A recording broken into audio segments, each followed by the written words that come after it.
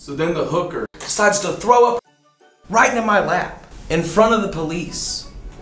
And I'm just like, that's it. I'm going to jail. I'm done. So with that, I'll pass. That I pass. Thanks, Randy. Would anyone else like to share? What about you, Chris? Is there anything you'd like to share with the rest of the group? Oh, Who, me? No. No. No, I'm just, I'm just here for a DUI. Oh, I, I hit the slopes every now and again, but mainly here for my boy Dolph. He's, he's the only problem. See what I mean? Why you think his nose is red? Rudy, look at me. Are you on something right now? Rudy, look at me. Rudy!